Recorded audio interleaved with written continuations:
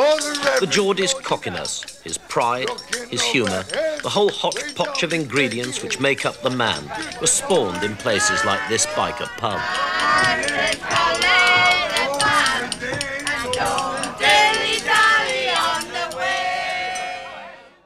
For decades, up until the 1960s, this area of Byker was a tight, close-knit, working-class community of about 17,000 residents in 1,200 or so old back-to-back Victorian terraced houses.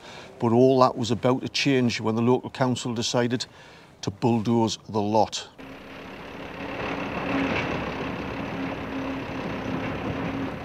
Between 1969 and 1982, the council replaced those old Victorian terrace houses with about 2,000 homes, 620 of which are maisonettes in what we call the Byker Wall, sometimes referred to as the Berlin Wall or the Wailing Wall.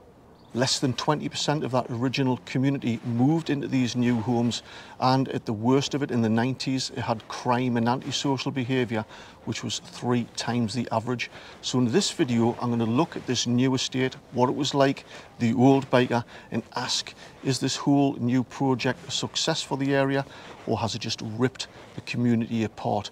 I'm also going to give you a couple of bits of information about the Byker Wall which I think will shock you. So don't skip through the video because you'll miss it. It's coming up. Welcome back, it's Eddie here from Tyneside Life. If you're new to the channel, I cover the history, culture and football of Newcastle and the surrounding Tyneside area. If that appeals to you, don't forget to hit the subscribe button and the bell so every time I release a new video, you'll receive a notification. Well, here I am in the Byker Wall Estate. Byker sits approximately a mile to a mile and a half east of the city centre and you might have heard of Byker before. It is famous for one or two things. One thing you might not be aware of is that a couple of thousand years ago when the Romans were here, they built a wall called Hadrian's Wall. It passed through Byker and there are the remains of a Roman mile castle at Brough Park dog racing track just up the road there. It's also famous for a TV show you might have heard of or seen running from 89 to 2006 called Byker Grove. Now Byker Grove wasn't actually filmed here in Byker, it was filmed in Benwell which is in the west end of Newcastle, but it did help launch the career of a couple of local lads who went on to do quite well for themselves. You might have heard of them. Now you cannot come to this area of Newcastle, Byker specifically here, without mentioning our famous football club, Newcastle United, because this is where it all started in Byker. Rewind the clock, go back to 1892, you'll come to an, an important chapter in Newcastle's history, a landmark moment because in 1892 Newcastle East End, who were playing here stones throw away, moved to St James's Park and they did that because Newcastle West End Football Club financially collapsed and folded and vacated St James's Park. It was just a playing field back then. And six months later they had a meeting because there was only one main club in the city at that time and they wanted all the population to come and support one club. So that a meeting decided to call themselves Newcastle United. So Newcastle East End changed their name to Newcastle United. But in terms of the historical lineage of our club, if you think of it in terms of a book, 1892, of course it's important, but you've probably landed on chapter three. If you want to go to the beginning of chapter one, you have to go back another 11 years to 1881 to a club that formed called Stanley FC, just 200 yards down the road there. A few years later, they moved pitches just up the road there, renamed themselves to Newcastle East End, and you know the rest because I've just told you now. Newcastle United's official club historian Paul Joannou has been trying to get the truth out there for a few years now through his books and his articles about the true foundation year of the club and I'm kind of helping the story along. I'm going to put a link, I think, either up here or at the end of the video. I've done a complete, uh, completely different video about the foundation of Newcastle United and why we've ended up celebrating a false foundation year. Make sure you check it out. Before we start looking at the actual new Byker Wall estate, we need to go back in time and look at the old Byker.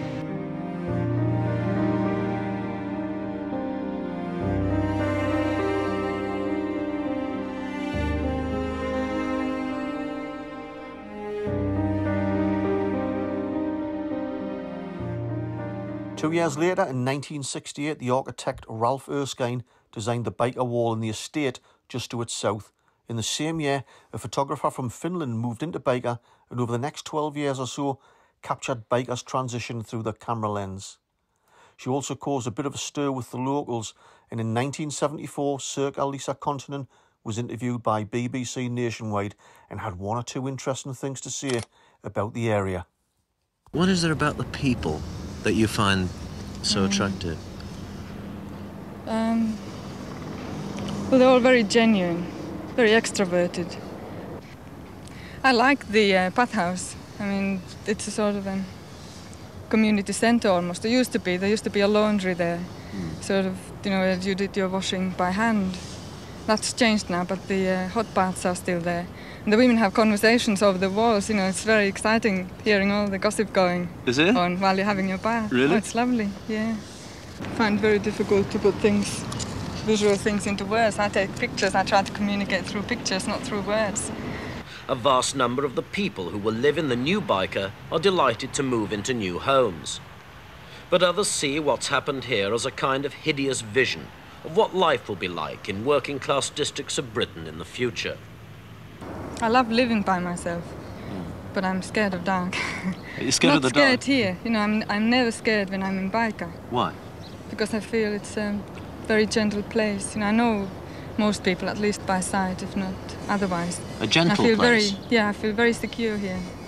It, gentle would seem to be a strange word to use for a place like this. Well, it's strange only to, peop- to people who have uh, strong prejudices about Byker. Nobody who actually lives here would say that it's anything but gentle.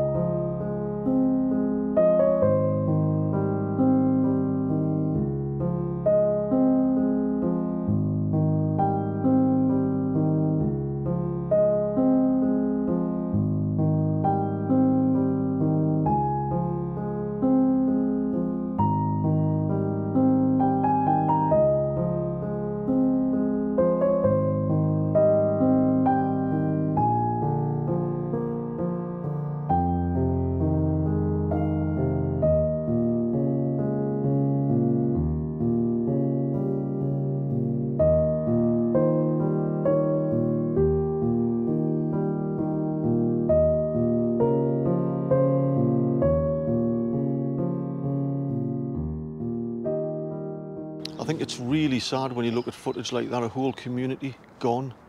And I don't just mean gone, demolished, gone completely. And if you look back at that clip in the Byker pub from 1974, you know, I was eight years old in 1974.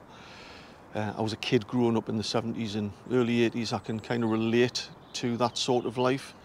Being brought up in a, in a council estate, in a council house, I spent the first three years of my life in an old Victorian terraced property in Bensham Gateshead. Although I can't remember, you know, I was getting bathed in a tin bath in front of a coal fire. And we had a coal shed. But I spent my whole upbringing being brought up on a council estate and there were happy times. People were happy. Council areas then were, were filled by and large with working people, ordinary people, normal people, down to earth people. And I take exception to this notion that there was poverty poverty is something different to being poor because when you're poor and being brought up in a low salary income, for example, you don't know you're poor. You're being fed. There's electricity. There's, you know, you go outside and you play outside, you play football with the other kids or whatever. Nobody knew they were poor. We were all happy. Poverty is something a little bit more insidious. It's something different. Today, we see real poverty. People who have nothing, who can't pay for the basic essentials. In terms of Sirkka-Liisa uh, Konttinen, that uh, Finnish girl who was 20 years old when she moved to this area in 1968 and lived in a Victorian terraced house and captured that historic period in Byker's history is just amazing. And she spent the rest of her life, she's 76 now, living in Newcastle. She went on to become an esteemed photographer, with some of her work being shown in the Tate Gallery. And she has, with um, two or three other people, the side photography centre on the quayside, which has had to close recently, unfortunately, due to cost of living crisis and lack of critical funding. It's really sad. We're going to go now on to the Byker Wall Estate here, and explain about what that's all about. And like I said at the beginning, there's a couple of really interesting things, things I think are going to shock you about uh, the Byker Wall. And at the end, I'm going to give you my opinion on this area. The Byker Wall and the low-rise dwellings to its south were designed by architect Ralph Erskine and covers around 200 acres. He was born in England but lived and worked most of his life in Sweden. You can see the Swedish influence in the design by the use of timber and brightly coloured panels. This design broke away from the brutalist architecture of the time and was in stark contrast to the flats built in the west end of Newcastle. The wall is around a mile long and was designed to shield the rest of the estate from the noise of a motorway that was never built. Instead, the A193 sits directly north of the Byker Wall. The whole project was part of Thomas Dan Smith's grandiose dreams of a Brasilia of the North, a city in the sky. Of course, we now know that Smith was later incarcerated for his involvement in the Poulson affair. Even though the old residents of Byker were consulted about the new project and were generally supportive of it, less than 20% had moved in by 1976. In fact, Erskine is quoted as saying, The main concern will be for those who are already resident in Byker and the need to rehouse them without breaking family ties and other valued associations or patterns of life. I suspect that decline in industries had forced a lot of residents to move in order to find work. Others may have been left in limbo during demolition, forcing them to relocate. Erskine's groundbreaking design of the Byker Wall estate had drawn global attention and was seen as one of his finest projects. In 2007, English Heritage gave the Byker Wall a Grade 2 listed status, giving it the same architectural protections as the Tyne Bridge. In 2017, the estate was named the best neighbourhood in the UK and Ireland in the Academy of Urbanism Awards. So who knew? I certainly didn't. The Byker Wall is a Grade 2 listed structure. It has architectural and historical importance to Britain. Protections the same as the Tyne Bridge has protections and the estate has won a national award. Walking around this place you wouldn't think in a million years that any of those two things were true. But buildings don't make communities, people make communities.